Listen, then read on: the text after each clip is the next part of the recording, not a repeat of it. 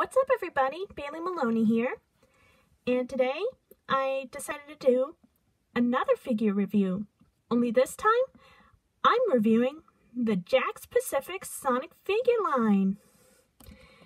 Now, you're probably wondering, why do I have two Jack Jakks Pacific Sonics? Um, you see, I was kind of debating on whether I should review this Sonic figure with a with a bounce pad, or should I should I review this Sonic figure with his skateboard or snowboard? Then I thought, you know what, I might as well go ahead and review both of them. So yeah, let's start off with his accessories, shall we? This is his um bounce pad, I believe. As you can see, this comes straight up. This looks just like how it does in the games with the star in the middle. It looks red, black, and yellow, which is or red, blue, and yellow. It may look like it's black to you, but it's actually blue. And this little button here, this little thing here, you can actually push on it to make it look like Sonic's jumping from it. And here is Sonic's snowboard. I'm going to call it a snowboard because why not? now, this snowboard looks really nicely done. It's got Sonic's logo here. Oh, and it got Sonic's name in the back of it. It's white and blue in the back, light blue. And this, this one is, I think it's either black or dark blue. Might be black. And here is, again, here's Sonic's logo here. Loving this.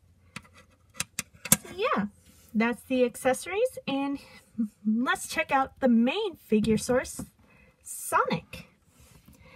Now this Sonic, this one looks pretty nice.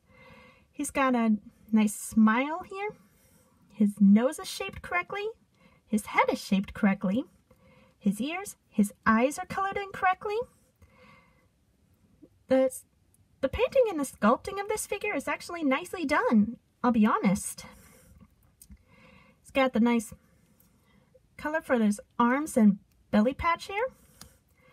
The spines in the back are painted nice, are sculpted in nicely, same except for this tail. And his shoes are painted really nicely. They look like, he, he looks like he just popped out of the game. oh, that would be so awesome, wouldn't, wouldn't you agree? Now, this hand is closed, and his, that was his right hand, and this is his left hand that is holding something, kind of like a ring or a snowboard. Now comparing to, now let's get out this Sonic figure here. His, his smile is, he's got a toothy grin instead of an actual, instead of a usual smile to show how he's um cocky and stuff. To show off that now that cheeky smile shows off his personality right there. His right hand is open while his left hand is closed. All in all, the painting and sculpting in this figure is nicely done, although I see a smudge on his left foot. It looks a little off, but it's okay. I'm not too bothered with it. Now, with the painting and sculpting out of the way, time we go over to articulation. And as always, starting from the head down. Sonic's head can move left and right and can do a 360. His arms go in and out, forward and back. Since his elbows are already bent, there's no articulation of that, but it's alright.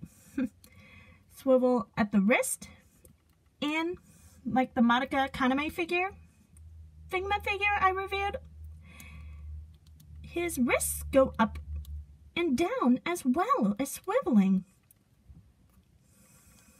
His legs go out about that far, back about that far, bend and swivel on the knee, and swivel on it on the ankle. now I got these Jakks Pacific figures uh, for Christmas of 2020, so yeah, I decided to expand my figure collection with both Jazwares, Tomy, and Jakks Pacific Sonic.